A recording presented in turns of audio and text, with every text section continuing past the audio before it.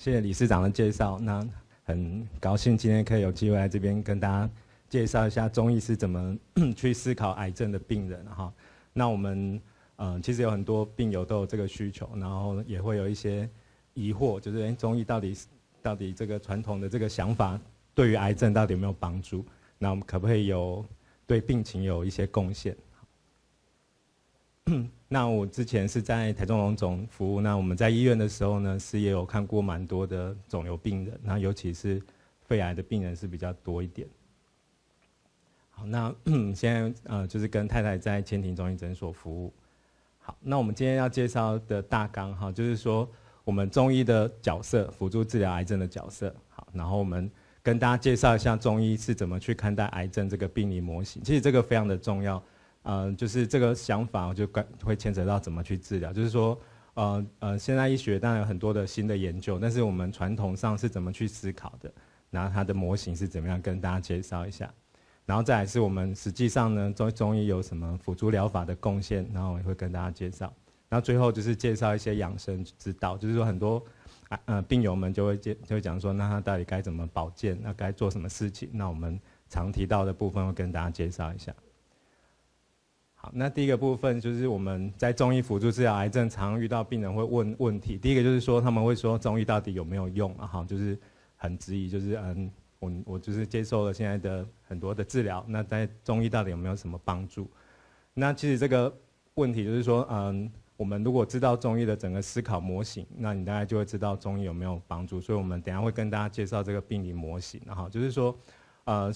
虽然是一个传统古老的医学，但是它切入的角度其实是更符合真实的哈。就是我们知道现代医学呢有很多研究的是是呃比较片段，就是说你可能很 focus 很很集中在某个地方，然后做出一个研究，就是把你很多的因素都去除之后，然后去做比较。那这时候其实有时候会有一点不够全面，不够不够完整。就是说你可能在某些条件下是这样子，但是在真实的世界里面，其实有很多。是不一样的。那在传统的这个概念里面，事实上是把这些都涵盖进去。好，所以我们中医之所以在这个时代还可以生存，其实就是它有不同的思考想法。那这些想法呢，经过两三千年的验证，哈，至少在汉朝就已经成型的这个这套医学，经过两千多年的验证，发现它是确实有用、有帮助的，所以一直流传到现在。好，所以这个有没有用是这样。那有些患者呢？就会说他他有些秘方，有些偏方，或者说他们有些人会去介绍他去吃某一种，各各式各样都有，在医院真的看了好多什么什么铁树，各种各种的方法都有。然后有一些就说他的邻居谁谁谁吃了有效，或是说谁谁谁吃了有效。其实这个五十年前没有医生的时候，也许大家只能靠这样。但是这个时代有我们非常优秀的西医前辈们，还有很多的中医，中西医都非常的多的情况下，又是用这个方法，其实是。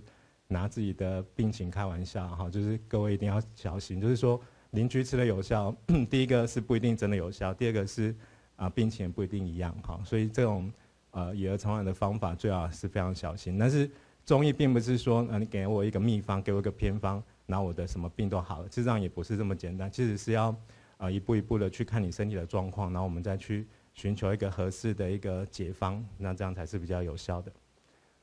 那有一些患者就会 拿一些处方长期使用，可能是说谁谁之类的验方，那可能也都是有名的医师开的，或者是说有一些是啊有一些药厂做的一些成方，那长期就使用。那其实这样子呃，其实就是完全没有中医传统的精神了。就是说，其实每个每个人他不同的季节，像冬天的身体状况跟春天、夏天其实就不一样了。好，然后每天他可能今天生气了，哦，今天下雨了，或者今昨天。啊，又发生什么事？吃太饱等等，他其实身体是一直在变动的。那我们在中医的架构里面，就是可以去去追寻这个变动。所以，如果如果你是某一个方一直使用，其实上是不恰当的哈。所以有一些就是他可能会说他吃什么什么啊，一直吃，他其实这样并不是非常恰当。另外，我们常遇到还有就是病人就是说，哎，我得了癌症，我是不是不能补？哈，只要有补的，他都很害怕，就不可以补。然后开的药里面如果有人参、当归什么，只要他认得的补药，他都很害怕。那其实有时候我们开的一些处方里面，比如说龟皮汤里面就有当归，然后他不认得龟皮汤，他就很安心吃。其实他还是吃到当归哈，就是说，呃，有一些概念他会很根深蒂固，觉得他不能补。那各位呃仔细去想一想，是不是癌症就不能补？那补的概念是什么呢？不足就要补。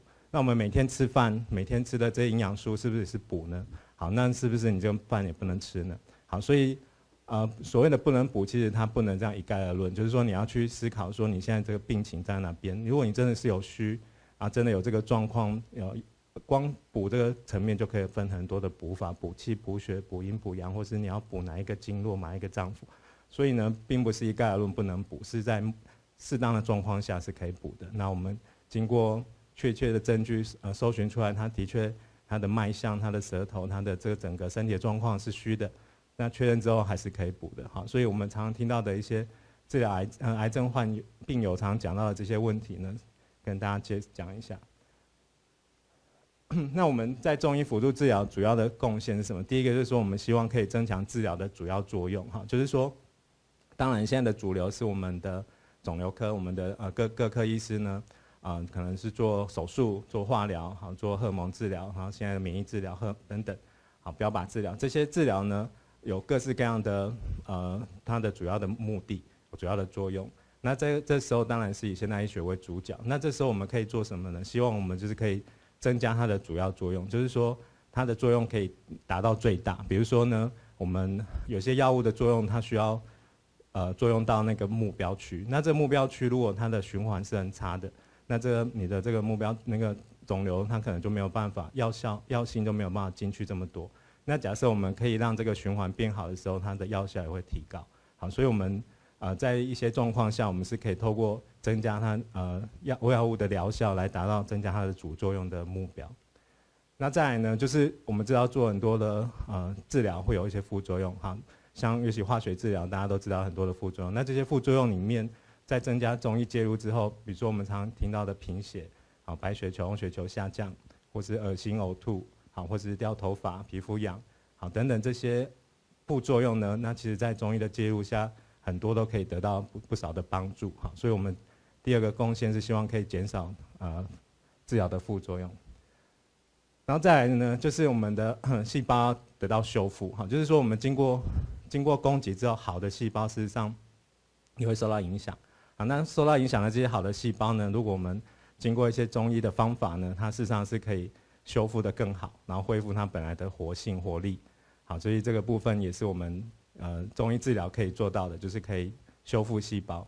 然后另外呢，很多癌疲惫的问题，好，就是我们呃疲惫的状况呢，其实这中医也是有很多的方法可以介入。然后再来就是 清除一些残留的肿瘤细胞。这个部分呢，其实是我们最希望可以做到，就是说，我们知道所有的治疗呢，它的成功率都有一定的比例。那有一些就是清除不掉，或者说它到最后各种治疗都有所谓的抗药性，这些药物对这些癌细胞就没作用，或者是说它清除到最后还是有一些杀不干净的。那这个部分，如果我们可以启动身体自己的身体的机转去把它清除掉，那这时候呢就不会再，呃，它就不会不容易再复发，或者说它的疗效就会更好。所以，我们是希望可以做到这一点，好，就是说，透过我们的这个模型呢，我们是有一些方法的。